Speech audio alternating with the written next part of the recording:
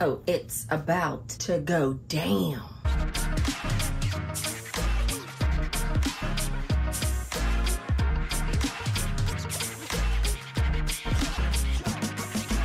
Hey guys, it's Jess from She's Posh. Welcome back, and today we're doing another handbag battle.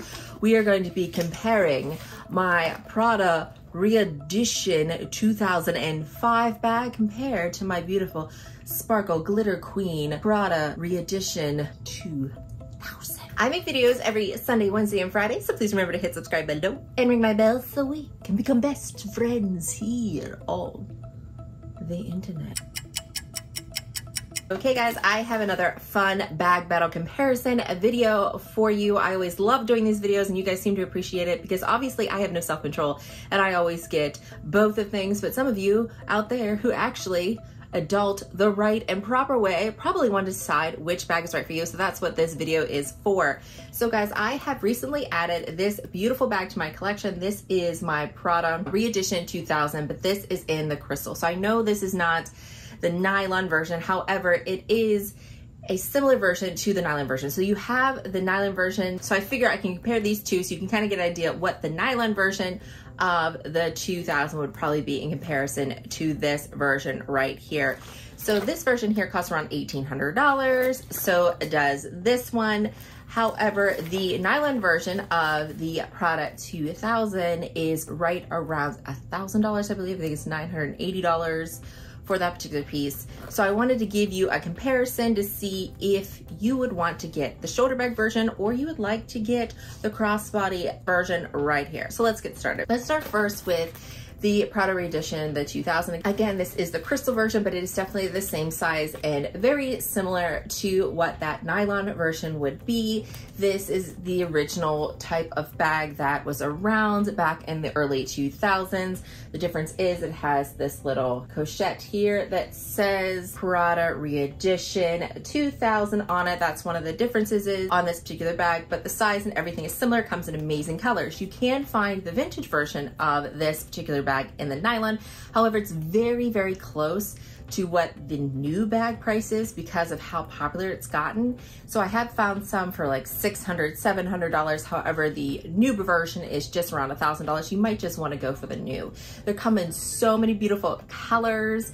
I really love the yellows and the pinks and the blues. I'm actually thinking about, I know, maybe if I can find a great price one, adding another like pink one to my collection in the nylon. The Prada nylon is absolutely gorgeous and very easy to clean and to wipe off. So I definitely recommend that bag. This bag, super comfortable, lightweight. You can fit it easily in the crook of your arm as well as a shoulder bag. It does sit kind of high. So you, some people do this like Prada pose right here, but super comfortable to wear. You fit all the necessities, everything you need in this bag. Next, let's go to the Prada 2005. So I ended up choosing when I was looking between the two with this bag first because I really loved the versatility of this bag. At the time when I bought this bag, it was really hard to find. It wasn't available on the Prada website when I was doing it, and they didn't have as many colors as they do now. When I was first doing this, looking for this bag, they had it in the beige kind of tan color. They had it in a black color, this navy color, and a red color, I believe. So when I was looking at it, I was looking into getting it maybe in the black or the red color. They didn't have it available, but they had it in this navy color on the website. When they first launched on the website, this was what was available. What drew me to the bag is I love the fact that it had this really beautiful strap with the prod on it, but then it also had this pouch in it, which is perfect, which I put in right now to put AirPods in there perfectly. It just zips up. I love how it attaches here. And this is one of my bags that I love to use when I'm traveling, when I'm on vacation. This is the bag I usually take with me because I have these because I'm always, when we're traveling, I love to have that so I can listen to my crime podcast. I love that it was a crossbody bag, but I love this fun feature with this strap here that you can still wear it as a shoulder bag. So I felt like when I was buying this bag, it was two bags in one, if that makes sense. And all of these are detachable. So if you didn't want this hanging down, you could detach it. I just don't, I don't ever see myself wearing it as a clutch to have like no strap with it but I love those options. This bag at the time when I purchased it was right around $1,200. 1200 to th maybe $1,300 with tax because again, this is right when it first came out and then it started to get harder to find. But this one, they had just listed on the website and I just went for it because this was what was available and they were not listing them on the website at the time. Do I regret this color? Maybe a little bit because I think I would have liked having it in the black more to wear with things because sometimes Navy is a little bit harder to style, so I think I would have liked it in the black. I have thought about maybe getting the leather version of this bag in the black and maybe selling this and switching it out. However, I still love the style of the bag. Maybe this color wasn't the best to get, but now the price of these bags I think are just under, a little under $2,000. So huge price increase in the past two years. Panorama has definitely done that where bag prices have skyrocketed into comparison of what they used to be. But let me show you this bag on me. I'm getting ready to do a workout after this. Here is crossbody and I just think it is super cute, chic. It looks absolutely gorgeous. It's fun, athletic, very easy, lightweight.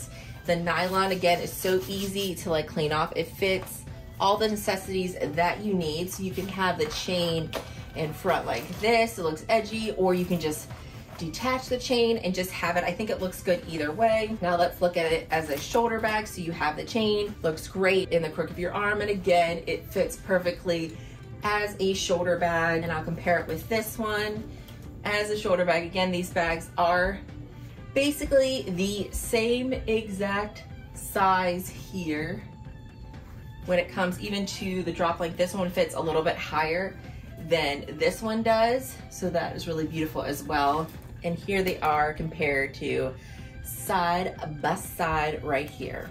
Next, let's put some items in the bag and see what they can hold. Here's the bag I'm currently rocking, so I've downsized a little bit. Get the necessities out. Gotta grab my little pouch here. So first thing I like to do is start with the biggest item. So this is my mini pochette right in here. Fits perfectly. We have our clay, our zip case, and then we have our keys and all of those items fit perfectly in the bag. It zips up and with the nylon, it'll open up better. This is the crystal version, so it is a little bit more structured than the nylon version, but definitely fits everything you need in here. Now let's put it in the other bag. Again, let's start with the biggest item. Fits in perfectly. We have wallets, clay, and our keys. And there you go. Fits the same exact amount that this does open up very nicely. Definitely, it has a little bit more of a weight to it than the other one, but that's also because we have the strap and again, I have my AirPods right in here with the added version of this. But again, look how absolutely beautiful. Fits the same exact material. Now this one is a little bit of an older bag. So I've had this bag almost three years now. So I do notice that there is like some wear, but the only wear I have really is to the zipper. The outline of all these nylon bags here is a leather. I don't really have any scuffs or anything to the corners.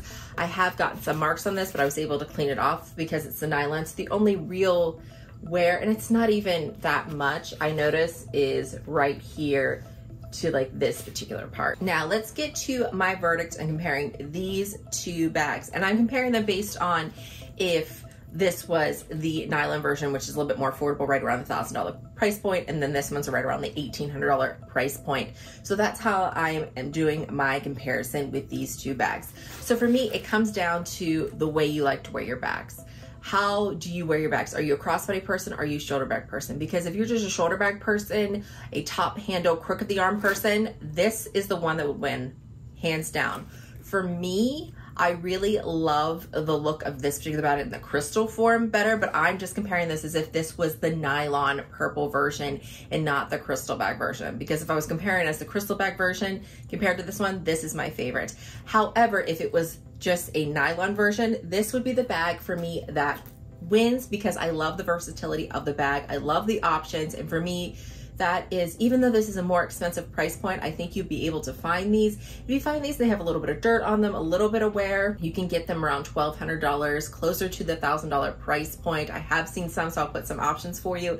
And again, if there is dirt on it, you should be able to clean it up with maybe a little bit of dish soap and stuff like that. If it's one of the lighter colors, don't let that deter you because the nylon is very, very durable even like there might be some marks to the corners and some scuffs, but that's really not that noticeable on the bag don't let that deter you from getting this. But I just really love this version best in comparison to the two just because I feel like you have so much versatility and it becomes a whole new bag. Like having this as a crossbody bag, it's a whole different vibe than just having this as a shoulder bag. This looks more like dressed up, having this chain and just having this with it.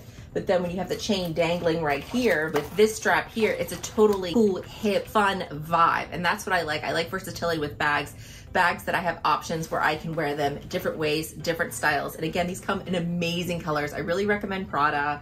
I know there is versions of this that I have that Louis Vuitton has come up with, but their versions are over $3,000. They're crazy. And I really love Prada, even though it has gone up in price, the fact that they still have some beautiful, amazing bags that are in a more affordable, I know I'm doing air bunnies, because I know it's crazy because it isn't a leather bag, but they do have leather versions which are over $2,000. Something I'm thinking about doing, maybe selling this bag and then using that money and upgrading to a leather version, something I'm thinking of. But if you are thinking about the nylon and you're nervous about the wear and tear, the versatility, all this stuff, you need not be because they're absolutely gorgeous and amazing. Okay guys, that is everything. Let me know which bag do you think? Are you someone that loves the crossbody versatility? Are you someone that just likes the cheaper version and a little bit of a function? Let me know in the comments down below. And as always, I wanna thank you so much for watching and I hope to see you again. Bye guys.